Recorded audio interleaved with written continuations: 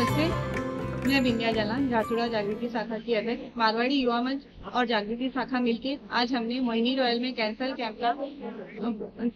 camp लगवाया है और ये कैंप पूरा फ्री है तो मैं सभी से रिक्वेस्ट करूंगी कि सभी कोई आए और इसका लाभ उठाएं ये कैंप हमारा अभी सुबह छह बजे से